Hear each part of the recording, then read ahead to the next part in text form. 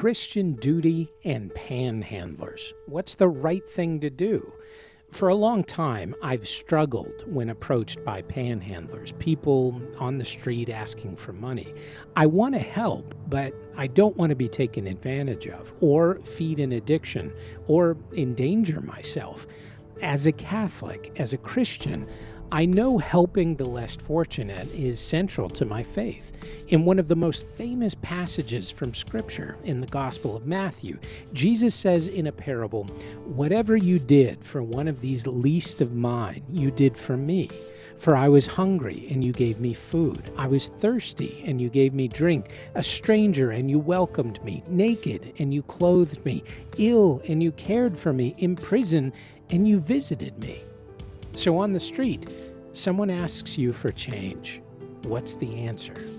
Often, the people we meet on the street, whether they really need our assistance or not, they're, they're sort of looking for attention, somebody to listen to them. And uh, that's often how I, I start the process off. And from there, uh, sometimes some interesting things can happen. Welcome to the Faith Full Podcast. I'm your host, Tony Ganzer. In this episode, we'll take a few moments to explore the Christian response to people panhandling for money, either out of legitimate need or, as we'll hear, not so legitimate need. There may not be a perfect answer, but we'll get some perspective from the head of the Society of St. Vincent de Paul in the Diocese of Cleveland, Gary Sole. That's in this episode of Faith Full.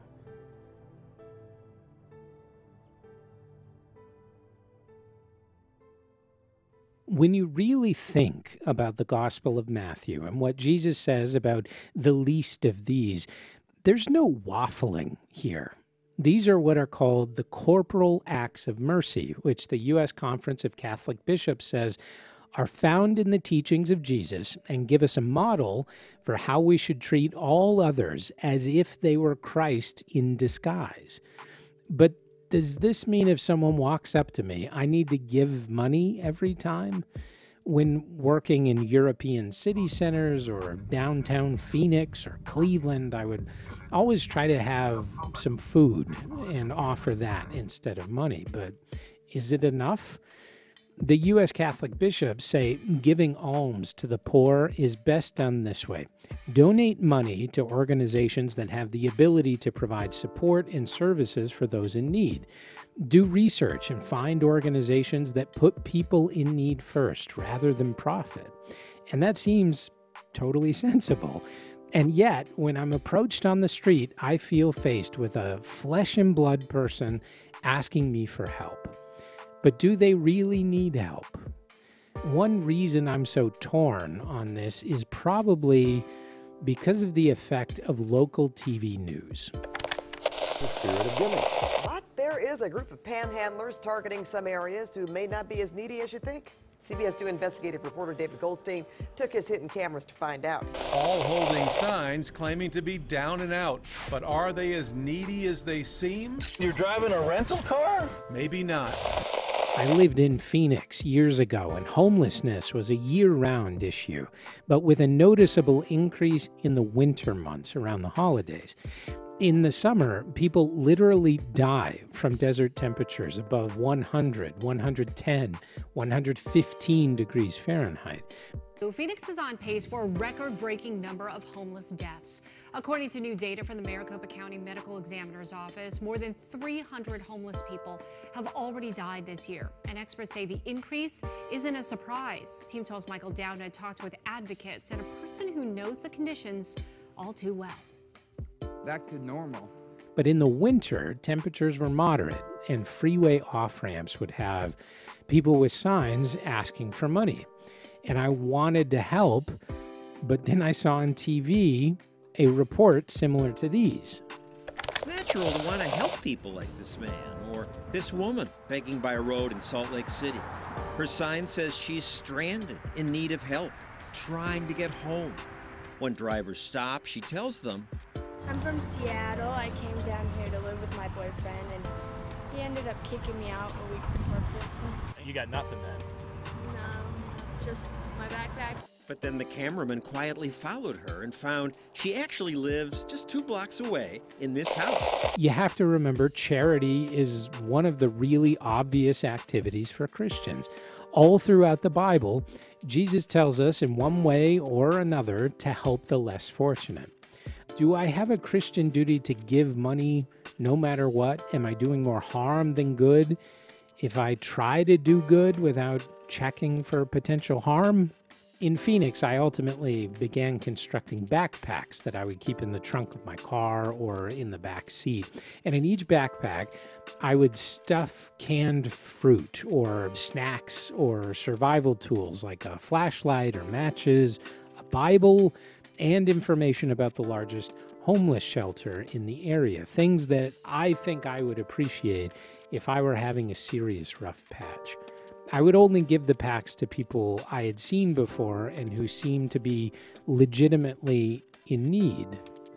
But with stories of scammers, my charity was poisoned to a degree with skepticism. In Scripture, Galatians chapter 6, we find the line Bear one another's burdens, and so you will fulfill the law of Christ. To continue exploring the question of right action in the face of maybe unknown need, we're joined by Gary Sole, the CEO of the Society of St. Vincent de Paul in the Diocese of Cleveland. It's a tremendous ministry that is run mostly by volunteers, about 2,000 of them, focused on giving person to person support. Nearly 200,000 people getting food support or visits from volunteers. Whether it's nourishing food at our hunger centers, providing homeless families with warm clothing, beds, and mattresses, blankets for the homeless, eviction prevention, school supplies, utilities, and more. Because our episode today is about finding the Christian response to someone asking for help, I thought the Society of St. Vincent de Paul was the perfect place to go for advice. Here's CEO Gary Sole. I find it very helpful to talk to the person.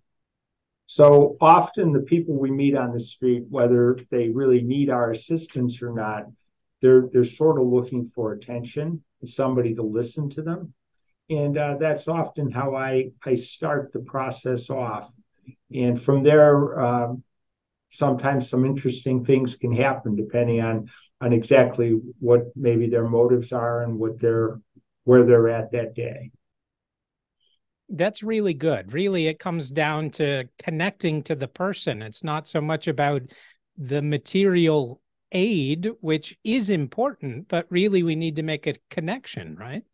Absolutely. And, and a lot of people are surprised. They don't really expect us to do that. They almost get used to us wanting to just give them some money or just say no and walk away. Hmm. Um, so this idea of almsgiving in general, uh, if you go to the USCCB, the Catholic bishops of the United States, they say to vet a you know established charity or ministry um, and that's kind of the best place uh, to give um, again it gets into this tension though uh, if we're facing a, a person on the street this is a human being in front of us asking for help um, so how do we weigh or do you have any tips on weighing giving to a great organization like yourself uh, but also you know being a person with another human being well, I, I, think we're always going to bump into people on the street, Tony, who are going to ask us for assistance. And some of it he has to do with what they're asking for. I won't say so much how they ask, but what they're asking for. Um, and then maybe the dialogue that you have with them. Um, sometimes they'll walk away. Mm. So uh, it, that sort of tells me that that really they were just looking to get some money. Um, and then some of it, because I'm with St. Vincent de Paul, some of it he has, uh, and I'll share this with you because it's, it's not a bad thing to know if you're in, in certain areas and you do notice you're getting asked for money. Um, for instance, if I'm over on West 25th Street by the West Side Market, we have a large operation at St. Pat's right down the street at West 36th. I'll direct people to St. Pat's. I'm I'm proud of our food pantry, and we do hot meals there twice a week. I'm proud of the people who work there. They they assist people, and they're very familiar with the neighborhood and so forth. So I often direct people to uh, one of our locations if I'm near any of them. I I, I frequent all of them, uh, but throughout the eight counties of the Cleveland Diocese, I'll direct people to St. Vincent de Paul. Hmm it's it's really a value add when you think about it. It's not just a transaction on the street but really you're trying to you know further a connection with somebody and bring them to to a little more robust support. Absolutely. Hmm. uh, one of the reasons i wanted to talk about this now is because you know around the holidays we we often kind of get this push for charity and giving. Uh, but I heard long ago that honestly, it's the times other than the holidays where there is a great need, and we should be thinking about charity and, and community service all year round. And I thought I'd just uh, pose that to you. Is that an accurate kind of uh, imbalance, I guess, in, in our focus on, on helping others? It's a 24 7, 365 days a year kind of a need the um, what is interesting is is the conversations you can get into with some of the people. Uh, some of them are pretty interesting. Some of them are very honest. And uh, some of them are just uh, maybe they're uh, having a rough day. In other cases, uh, they really need the help. That's that's how they they get by. We we say so much about the material aid, but looking at someone and and giving them the dignity that they are a human uh, mm-hmm. it does go a long way because we're also called to do that in our faith tony i was thinking about this if i may i once had a gentleman ask us he was at the back door of our pantry on uh, archwood and west 25th and he asked me for he asked me for something very specific and that was the car fare so he could get back to the east side mm-hmm. his apartment was uh, from the east side and he shared with me that he'd just been recently released from jail. So he'd served about 14 years because I did some prison ministry. So I asked him a little bit about, uh, you know, where he served and things like that. Not nothing about why, just where he had served, what he had done. So after listening to this gentleman for a little while, I gave him what some might consider actually to be a large sum of money. And he looked at it and he looked at me and he was a little stunned. And uh, he thanked me and he went to walk away. And as he walked away, I said to him, I said, You know, I just wonder, I said, now that you've been released uh, and you share with me that you have family out there that you're hoping to reconnect with, you could be a great resource for them uh, so that they understand uh, what it was like for you. I says, and I want to just share with you now that you're out and you're going to have to reestablish your life, keep in mind that God put you here for a reason. Hmm. And I stopped him cold in his tracks. And I've often wondered what happened to the gentleman. Okay, because as I said, he was out from the east side and I did not ever see him again. But uh, well, I helped him out with his car fare, but I don't always help everyone. Just yeah. so your listeners are aware, I can't always do that. So that's a that's a beautiful story, and really thinking about it through that lens, someone who made maybe not the greatest choice in their past is being given an opportunity to make a better choice now, and you're just reminding them that now's an opportunity to choose. Absolutely. Hmm. Uh, that's that's great. You know, one thing um, that looking through some of the materials about uh, St. Vincent de Paul is I saw through COVID, which was such a strange time, and it it still feels like a strange time, uh, that the number of volunteers fell uh, who were helping out with your ministry, but the hours actually increased. And I thought that was really interesting in the numbers because I just I don't understand if people were just giving that much more, like the really dedicated volunteers were just investing themselves even more, uh, because we saw so many, you know, uh, food banks and just um, community solidarity around uh, so many different things. Um, was there anything that comes to mind to explain that that rise in hours, um, or was it just that? doubling down on the ministry. So it was an interesting thing to watch when COVID happened. So the volunteers fell off by, and this will be startling to you, but somewhere between 75 and 80% of the volunteers stopped coming. Okay.